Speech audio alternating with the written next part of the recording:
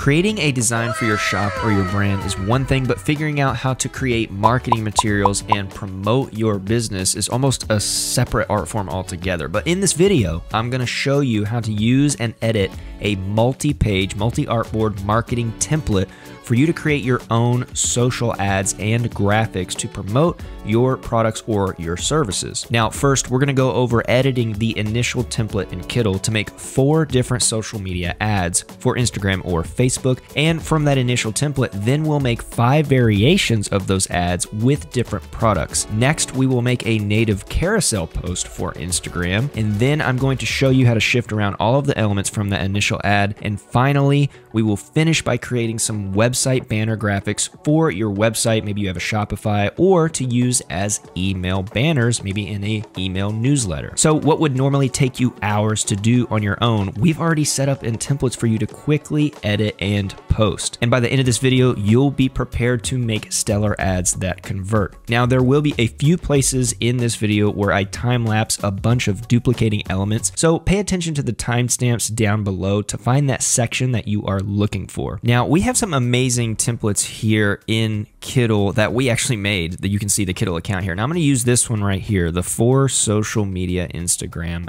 ads. And you can see here, this is a thumbnail showing you a bunch of different ads so you can see here it's perfect for square, portrait, story, and landscape format. Now I'm going to use this design that I made, this retro mascot design. I've already used Kittl's mockup feature to mock up this design on a variety of products, and I'm going to remove the background from each one of them and show you exactly how to replace that initial ad with each one of these products. So let's go back and open up that ad template design now so I can click on use this design right here. This thumbnail that's over here on the left side, we don't need to be concerned with. That was just kind of showing us what was in the project. I'm actually going to delete that so it's not distracting to us.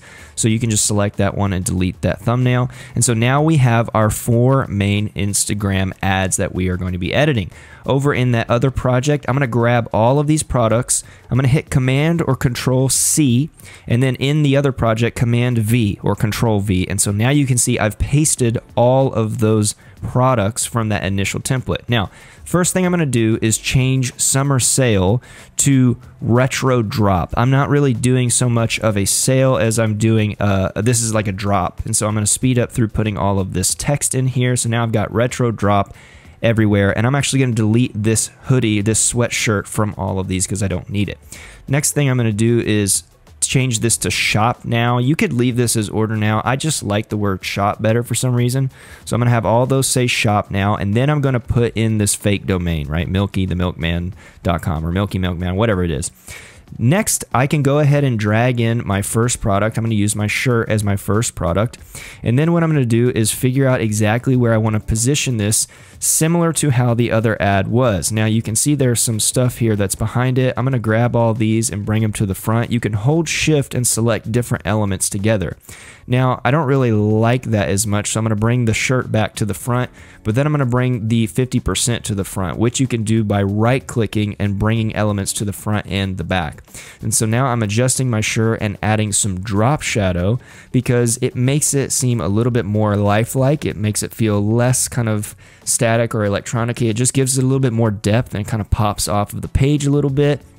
And so once I feel comfortable with that placement, I can adjust anything else that I need to.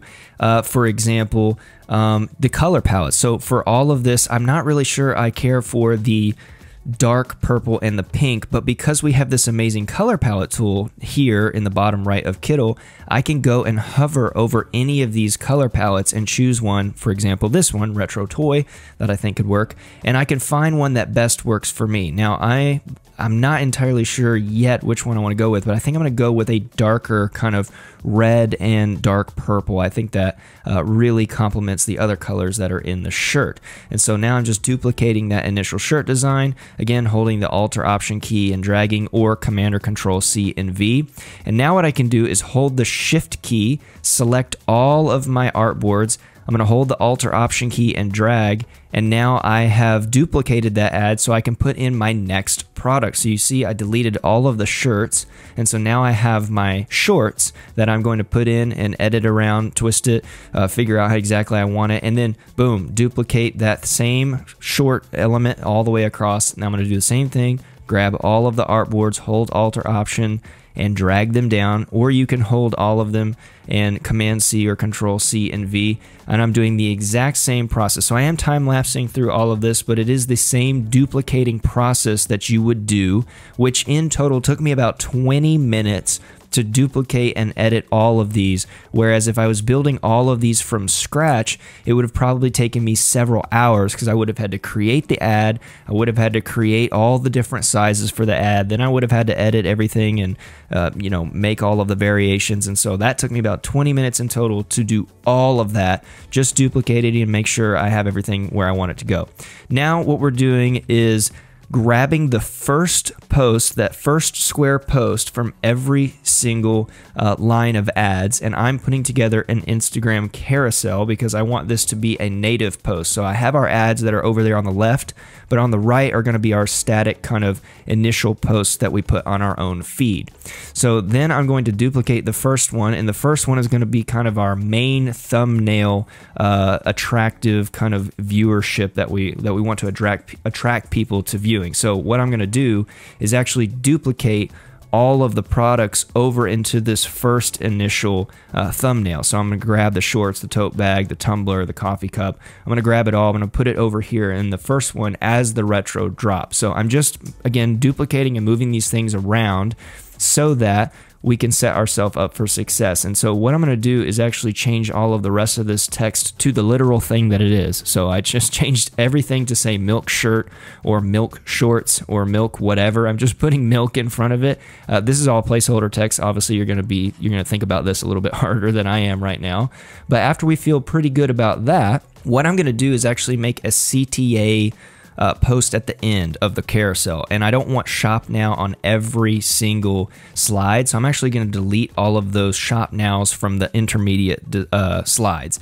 And what I'm going to do is come up with some kind of funny, silly text that talks about the uh, that talks about the actual product. So on my first initial one, I changed shop now to now live. And now I'm just duplicating some text and I'm going to come up with an idea for each individual product. So this first product is a uh, shirt. And so I'm going to say uh, perfect for wearing or perfect for wearing around or impressing your, your friends or something like that. Uh, some kind of text that, again, you might think a little bit harder about to uh, talk about your product or show what your product is. Uh, and this also just kind of helps fill that space on the left side. And then all I'm going to do is replicate this process. I'm just going to duplicate this text and put it on each one of these different slides. So I'm just holding the Alt or Option key and dragging it over to my next artboard. So you can see I just did that same thing. And now I can just click in that text that I've already set to the correct size.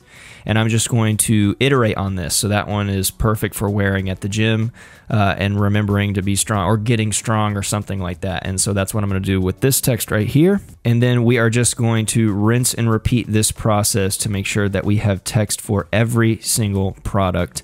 And as for this last slide, we're going to leave shop now here and we are going to uh, make this a little bit stronger of a CTA. So we had that now live uh, with the website. Their website is actually on every single slide, but we're going to make this a little bit stronger of a CTA by rewarding people that get all the way to the end and giving them like something a little bit extra. So obviously, uh, I just left the 50% off on this, so I guess our drop is going to be 50% off. But what I thought might might be nice and make it a little bit stronger is if we give uh, a redemption code. So if you have your own Shopify or even if you're using a, a a Etsy store or something, you can create a promo code that uh, initiates people to want to go and buy. So I'm going to do use promo code Milky uh, to get free shipping. So I thought actually very specifically about this to make sure I didn't say uh, to get an extra 10% off because a lot of times sites don't like when you try to use multiple percentage offs uh, off coupons. So what I did here was use promo code Milky for free shipping. So now that's a pretty amazing deal. 50% off plus free shipping sounds pretty awesome. So after we get this lined up exactly how we want to be, I'm actually going to get rid of this initial text here and I'm going to go ahead and put the rest of the products here. And so the same thing we did for that first one, we're just going to grab all of these products from that first thumbnail slide and just copy them over. So now I've grouped all of these together. I'm going to hit Command C, I'm going to hit Command V, or again, Control C, Control V. I'm going to paste them here on this last slide. I actually like that it's behind the little wave uh, shape down there at the bottom now. So I'm going to leave it like that and just move some of these elements around to fill the overall space. Now you might have more products, you may have less products, you may just have one product, and that's totally fine whatever you want to iterate on is perfectly fine. Now, the last thing we're going to do is make a website banner graphic. So whether you're going to use this as like a hero banner or if you want this to just be a slide on your website, I think it would be good to prepare some materials for that, especially if you do have your own Shopify or if you have an email list. So all I'm doing here is grabbing these two little wave, uh, these little curved icons down here, and I'm just making them a little bit bigger.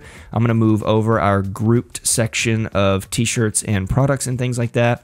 And then all I'm going to do here is just formulate this to make sense in a uh, horizontal left to right style. So I'm going to put shop now because the idea would be on my website, if I were to click that or cl what is a big image, uh, you would be able to go straight to the products, right? So that's the idea is that someone comes to your shop, they come from seeing the Instagram ad or they come from seeing the Instagram post or Facebook post or whatever it was.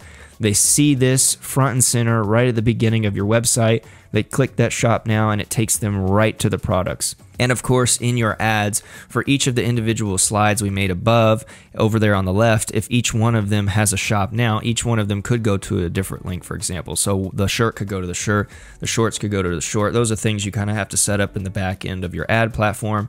But in this case, we're creating this one main graphic for our website so that if we click shop now on that image, it is going to take us right to the product page uh, to view all of the products. So all I've done here is copied some paste and I'm going to put a limited release again creating some sense of urgency so a lot of this is definitely what it looks like making sure the layout is nice making sure that everything is cohesive because you want all of the ad branding or the campaign branding to be the same. You want them to look the part together, but also creating a sense of urgency like, hey, this is a limited release of the products.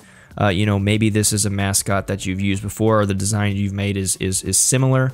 Uh, and then from here, what we're going to do is try to find out the best use of space. So I was trying out a couple of different options, and I was thinking some subtext might be better, but I didn't really care for that. So I put the 50% off a lot bigger uh, because I just felt like that was the most important.